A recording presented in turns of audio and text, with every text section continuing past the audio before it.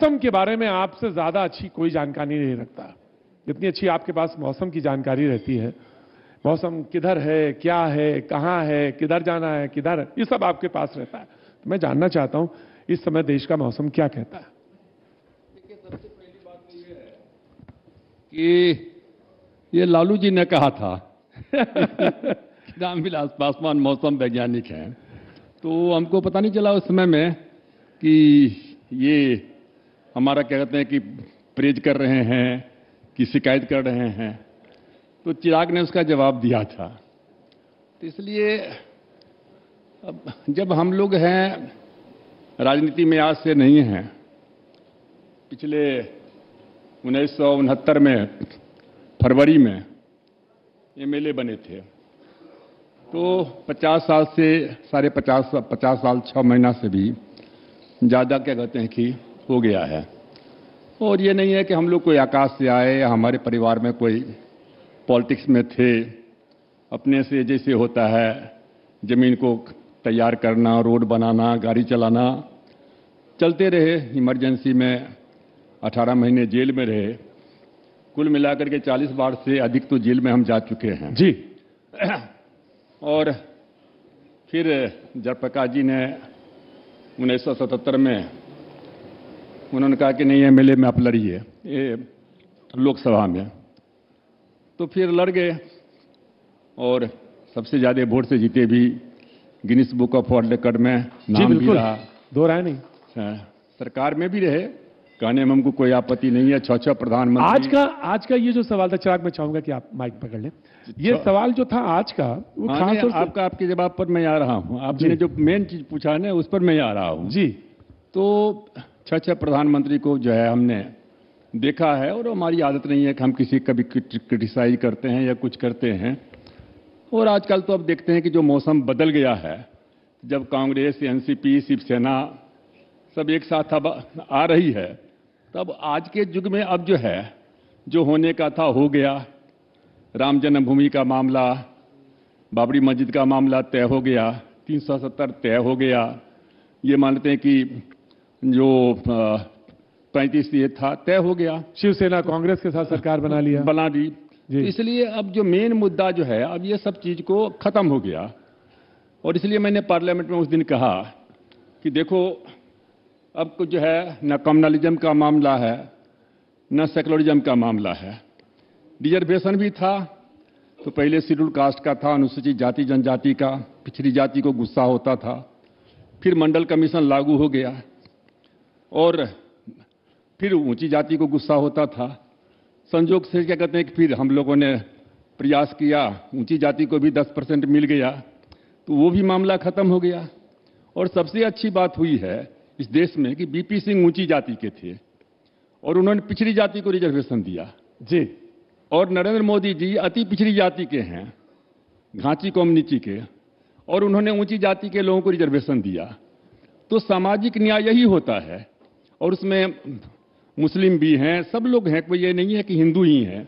मैं दरअसल जानना ये चाह रहा था कि आ, वैसे मैं आऊँगा शॉर्ट आंसर्स में आऊँगा लेकिन मैं जानना ये चाह रहा था कि प्याज के बारे में अभी कुछ देर पहले बोल के गए कि 200 रुपए किलो प्याज पच्चीस रुपए का एक प्याज मिल रहा है विदेश से प्याज आ गया पच्चीस रुपए का सेब पाँच रुपया दस रुपए का एक प्याज पच्चीस देखिए न्यूज़ एटीन के यहाँ सब लोग काफ़ी लोग होंगे है ना? जी जी बहुत सारे लोग हैं। हाँ सब सब तो न्यूज़ एटीन हमसे शुरू से ही पूछा जा रहा था और मैं झूठ कभी नहीं बोलता हूँ। जी ये सब जानते हैं। कोई कोई कोई कोई ये भी नहीं कह सकता है कि रामविलास पासवान पचास साल में एक नया एक पैसा का इनके ऊपर में कोई चार्ज है या कुछ है कुछ नहीं है। और हमें सही बात बोलता हूँ क्योंकि हम जानते हैं कि हम आज बोलेंगे तो कल हमसे प्रश्न पूछा जाएगा। आज से हमसे तीन महीना पहले से पूछा जा रहा था। मैंने एक ही बात कहा हमने कहा देखो मौसम जो है ऐसे भी जो महीना होता है अक्टूबर नवंबर सितंबर अक्टूबर नवंबर नवंबर। ये तीन महीना का जो होता है आलू प्याज और टमाटर का भाव बढ़ता है। इस बार क्या हुआ कि मौसम लेट से आया सब जगह और मौसम आया एक महीना लेट से चला। तो जो नवंबर में आने वाला था वो दिसंबर में एक महीना लेट हुआ। और फिर दूसरी बात क्या हुई कि जहाँ जहाँ महाराष्ट्र है कर्नाटका है मध्य प्रदेश है तो जहाँ जहाँ मानते हैं कि प्याज की ज़्यादा खेती होती है संजोग से क्या हो गया कि जब फ़सल तैयार हुआ तो बारिश आ गई। और बारिश आ गई तो बारिश इतनी बारिश आई कि बाढ़ आ गया। तो एक जो है उसमें क्या कहते हैं कि फ़सल चला गया। और दूसरा यातायात में क्या कहते हैं कि जो है ट्रांसपोर्टेशन में हुआ। एक मिनट। तो अब उसके बाद जो है ये क्या कहते हैं कि 26 परसेंट जो प्रोडक्शन होना था, वो कम हो गया, रकबा कम हो गया। हम लोगों को जब हम लोगों ने देखा तो हमने क्या किया कि छप्पन हज़ार संतावन हज़ार टन प्याज जो है, हमने बफर स्टॉक में रखा। और हमने हर राज्य से कहा कि 16 रुपए की प्याज आप ले लो, जिसको जितना लेना है। दिल्ली सरकार को भी कहा, दिल्ली सरकार ने कहा, हमको पाँच ट्रक प्रतिदिन दीजिए हमने कहा ले लो। हर हर गवर्नमेंट को त्रिपुरा की सरकार ने कहा जो जो कहा, लेकिन क्या हुआ कि राज्य सरकार ने नहीं लिया, कम लिया? संतावन हज़ार में छब्बीस हज़ार केबल डिस्ट्रीब्यूट हुआ, और बकिए क्या कहते हैं सब प्याज क्या कहते हैं खराब हो गया। अब उसके बाद तो हमसे प्रेस वालों ने जब पूछा तो हमने कहा, देखो, ये सिचुएशन है, मैं नहीं कह सकता हूँ, है ना, कि हम इतना ही कोशिश करेंगे कि हमारे सामने में क्या है? जब देश में प्याज नहीं है, विदेश से मंगाएँगे अब विदेश में तीन चार स्टेट हैं कम कंट्री हैं, अफ़गानिस्तान है मिस्र है, इजिप्ट, ये है, क्या कहते हैं, तीन चार है। वहाँ भी कम है। एक बार यदि हम कह देंगे कि पाँच लाख टन प्याज मंगा रहे हैं तो उनका दाम जो दो रुपये है वहाँ, वो छः रुपये में बढ़ा लेगा। चिराग जी, सवाल ये है कि ये प्याज बड़ा रुलाता है, चुनाव भी हराता है, और ये जिस भाव में है, उस भाव में तो कुछ भी खेल कर सकता है। अध्यक्ष हैं आप। ये देखिए इसका विभाग के मंत्री यहाँ पे खुद मौजूद हैं और मुझे लगता है उनसे बेहतर जवाब इस पे और कोई नहीं दे सकता। बट हाँ पार्टी का अध्यक्ष होने के नाते आ, मेरी भी चिंताएँ हैं इस बात को लेकर कि दाम कंट्रोल में आने चाहिए नियंत्रण में आने चाहिए और मेरा विश्वास है कि जिस तरीके से और ये अभी पूरे आंकड़े जब सामने बताएँगे तो ये स्पष्ट हो जाएगा कि किस तरीके से कारण क्या रहा इसके बढ़ने का मैं भी एक आम नागरिक की तरह इनसे मैं समझता ही हूँ कि क्या कारण रहे और क्या प्रिकॉशंस लिए जा सकते हैं आने वाले समय में ताकि इस तरीके से और ज़्यादा इन्फ्लेमेट नहीं हो। पर उम्मीद करता हूँ विश्वास करता हूँ कि जल्द कंट्रोल में आएँगे। उचित रख रखाव के एक कारण भी रहा। हाँ, असल में दिक्कत क्या है ना कि हमारे पास में जो चावल है गेहूँ है उसका लाइफ डेढ़ साल दो साल तक है। लेकिन प्याज का लाइफ जो है वो दो महीना के बाद से खराब होना शुरू हो जाता है। जी। अब हमसे प्रेस बाउंड ने पूछा था तो मैंने उनको कहा था हमने टाइम बाउंड कर दिया था कि देखो हमारे यहाँ विदेश से प्याज पंद्रह तारीख से शुरू हो गया आना पंद्रह बारह को। जी। आ गया। महाराष्ट्र में और क्या कहते हैं कि जो है दिल्ली में भी क्या कहते हैं पहुँचने वाला होगा। फिर इक्कीस को आएगा बाईस को आएगा तेईस को आएगा छब्बीस को आएगा अट्ठाईस को ये सब विदेश से। तो आ रहा है लेकिन क्या है हम लोगों ने क्या किया कि एक्सपोर्ट को बंद कर दिया इंपोर्ट को रिलैक्स कर दिया। अपने हर एम्बेसडर को कहा, जहाँ जहाँ है, कि आप प्राइवेट वालों को भी जो है फैसिलिटी क्या कहते हैं कि देने का क्या कहते हैं, काम करो। तो हमने कहा गवर्नमेंट के हाथ में जितना था, हम कर रहे हैं। और हम लोग तो मान लेते क्या, हम लोग तो नारा लगाते थे कि महँगाई को जो नहीं रोके, वो सरकार निकम्मी है, जो सरकार निकम्मी है, वो सरकार बदलनी है। तो हम लोग तो नारा शुरू से लगाते रहे हैं। तो महँगाई लेकिन होता क्या है कि कुछ एक चीज़ें होती है जो आप... जी ये आपकी बात सुन तो रहे हैं ना? हा? सुनते तो है ना बात ये आपकी? क्या?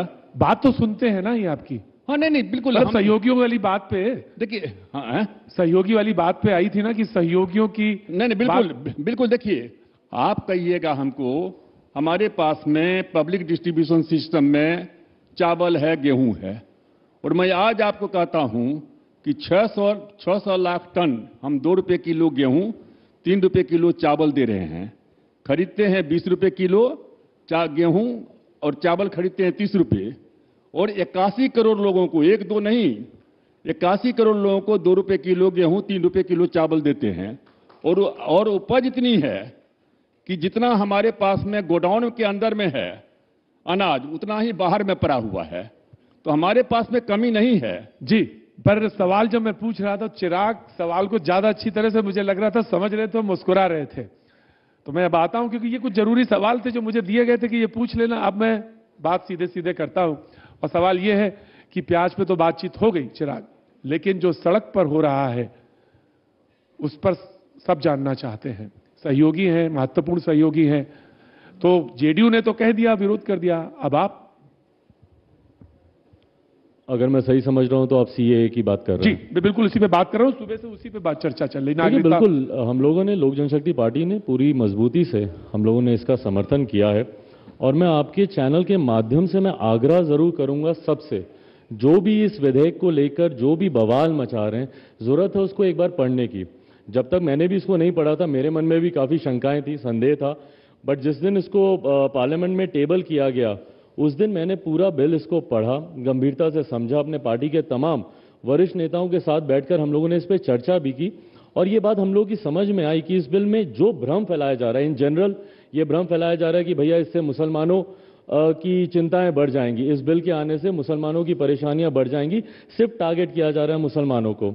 जबकि हकीकत ये और ये मैं ही नहीं बोल रहा हूँ, मुझे लगता है सुबह से कई बार आप भी सुन चुके होंगे, जो भी सत्ता पक्ष आ रहा है वो इसी बात को कह रहा है और जो हकीकत भी है कि इस बिल से भारत के रहने वाले मुसलमानों का कुछ लेना देना नहीं है जो कि हकीकत भी है। ये ऐसे तीन देशों के आए हुए शरणार्थियों को नागरिकता देने की बात हो रही है जो वहाँ पर अल्पसंख्यक हैं। और ये जिन तीन देशों की बात हो रही है वहाँ पे मुसलमान जेडीयू ने अलग स्टैंड लिया है। जेडीयू ने अलग स्टैंड लिया है। देखिए, मैं अपनी पार्टी की तरफ़ से मैं बातों को रख सकता हूँ, मैं अपनी पार्टी की तरफ़ से रख सकता हूँ। और इसमें मेरा मानना है कि जिस तरीके से इसको लाया गया, देखिए समय समय पर आपको आधार बनाना पड़ेगा। अगर आप नागरिकता दे रहे हैं और उसका रीजनेबल अगर आप उसका एक आधार नहीं बनाएँगे तो इस हिसाब से तो फिर जितनी भी अमेरिकन कंट्रीज़ हैं यूरोपियन कंट्रीज़ हैं साउथ एशियन कंट्रीज़ हैं, सबको बोल दीजिए भारत के नागरिक बनने के लिए। समय समय पर इतिहास में भी इस तरीके के आधार बनाए गए हैं, ये भी उसी क्रम में एक आधार बनाया गया है। मैं- पर हाँ इस पे जो भ्रम फैलाया जा रहा है ये गलत है। जिस तरीके से अराजकता और अहिंसा इसको लेकर हो रही है ये गलत है। मैं ज़रूर चाहूँगा कि हर वो व्यक्ति जो इस पे प्रश्न उठा रहा है एक बार इस बिल को पढ़े गंभीरता से पढ़े और जो भ्रम फैला रहा जा रहा है उसको कम से कम रोका जाए। मैं दरखास्त करूँगा कि दो प्ले कार्ड्स लेके अगर आ जाएँ तो बहुत बेहतर होगा। और यस और नो में सवाल के जवाब होंगे आगे से तो मैं चाहता हूँ कि आप दोनों को दो प्ले कार्ड दिए जाएँगे। और जो सवाल को आपको लगता है यस तो उस पर यस कह दीजिएगा जिस पे लगता है नो यही होता है सीधा यस और नो में बोल हाँ हाँ मतलब आपका आपकी राय हो आपकी ओपिनियन जी आपको अगर मेरे सवाल को लगता है कि ये हाँ सही है और अगर मैं अ, अ, आप ये ले लीजिए। हाँ हाँ तो अच्छा। हाँ बस बस बस। पहला सवाल मैं चिराग आपसे पूछता हूँ। वही सवाल आपके पास भी अगर आप उस पर क्या करेंगे? शरणार्थियों का धर्म देखा जाना चाहिए। जो शरणार्थी आ रहे हैं क्या उनका यही धर्म देखिए यही बात मैं कह रहा हूँ। कुछ ऐसे सवाल होते हैं जिनका यस और नो में जवाब नहीं दिया जाता यस और नो कुछ ऐसे सवाल होते हैं। देखिए ये इस बार जो आधार बनाया गया है डेफिनेटली यस ये धर्म के आधार पर ही बनाया गया है। और ये कहकर बनाया गया है कि जो धार्मिक उत्पीड़न के शिकार हैं वैसे अल्पसंख्यक जो बहुसंख्यक प्रदेश देश से आ रहे हैं वहाँ के जो अल्पसंख्यक हैं उनको धार्मिक उत्पीड़न का ही इसमें आधार बनाया गया। यस और नो चिराग ने कहा वो बिल्कुल ठीक है। एक होता है शरणार्थी एक होता है घुसपैठी। तो जो शरणार्थी हैं उसमें मानते हैं कि ठीक है जो तीन कंट्रीज़ हैं बांग्लादेश है पाकिस्तान है अफ़गानिस्तान है यहाँ मुस्लिम कंट्री देश है। तो कोई आदमी कहे कि भारत में हिंदू का प्रताड़न होता है तो कोई नहीं बाहर में मानेगा। उसी तरीके से मुस्लिम कंट्री में मुसलमान का प्रताड़न होगा ये भी कोई नहीं मानता है। लेकिन उसके बावजूद भी हाउस में जो है होम मिनिस्टर ने कहा है कि हमने जो है ये देखिए दो है। एक एनआरसी है और एक सीए है। दोनों में अंतर है। बिल्कुल। ये जो अभी जो बिल आया है ये नागरिकता छीनने का नहीं है। देने का है। नागरिकता देने का है। इस जो- इस प्रश्न जो प्रश्नोत्तर है उसमें यह है कि एक्सप्लेनेशन बहुत मिनिमम है और यस और नो पे चलेंगे तो हम बहुत अच्छा लगेगा। दूसरा सवाल ये भारत एक हिंदू राष्ट्र है। नो नो नो देश में रोज़गार संकट है। यस यस अच्छा अगर पिता पुत्र अलग अलग हो जाए तो ज़्यादा तालियाँ बजा दीजिएगा। इसके मतलब बहुत अच्छी बात है। देश में आरक्षण पर बहस होनी चाहिए।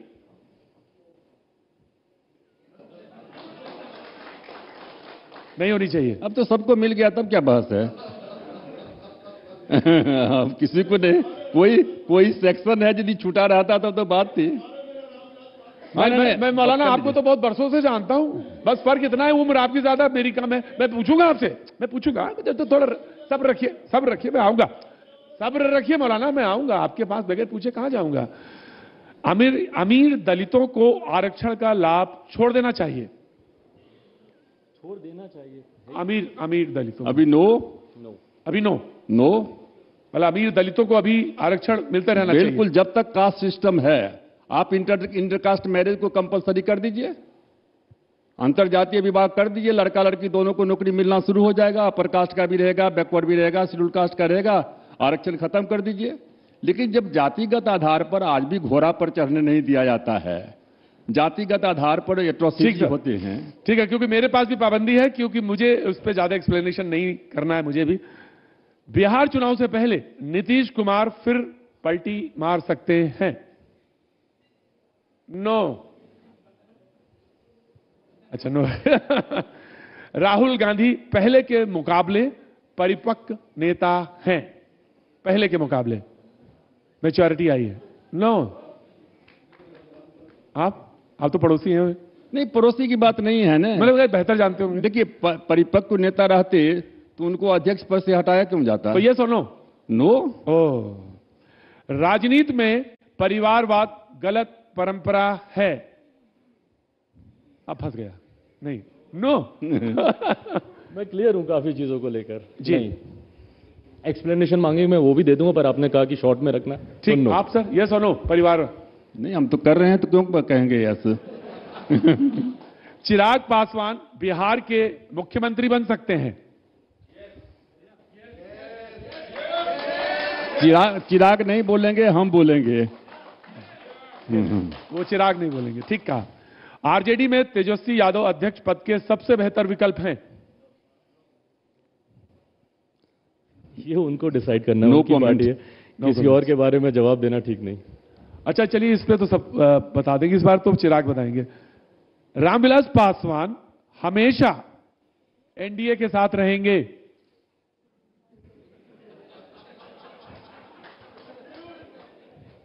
हम लोग ऑनेस्ट सलाही हैं मजबूती से जिनके साथ हैं रहते हैं। नहीं हाँ एक बात कहना चाहते हैं थोड़ा सा एक्सपेक्टेशन से कहें देखिए रामविलास पासवान एक गलत फहमी है। जी। जब लोग कोई मौसम वैज्ञानिक कहते हैं जी जी। तो वो समझते हैं कि जिसकी सरकार बनती है जी। उसके साथ में हम चले जाते हैं। ये कोई नहीं कहता है कि जहाँ हम जाते हैं उनकी सरकार बनती है। जी। आज तक जितना भी क्या कहते हैं कि आप देखेंगे तो उसमें आपको पता चलेगा कि जब जब हम मंत्री बने बीपी सिंह के समय बने बीपी सिंह के समय कोई मंत्री तो थे नहीं गए सरकार बनी अटल जी की सरकार एक वोट से गिर रही थी हम बड़ा पद ले सकते थे अंठानवे में हमने समर्थन क्या कहते हैं कि नहीं किया।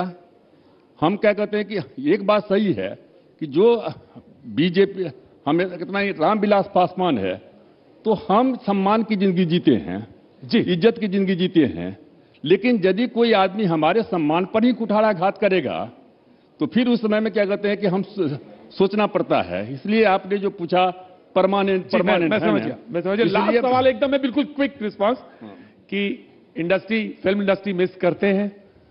नहीं मिस नहीं करता हूँ। Thank you so much thank you thank you so much बहुत बहुत शुक्रिया। थैंक यू सो मच शुक्रिया प्रतीक शुक्रिया हमारे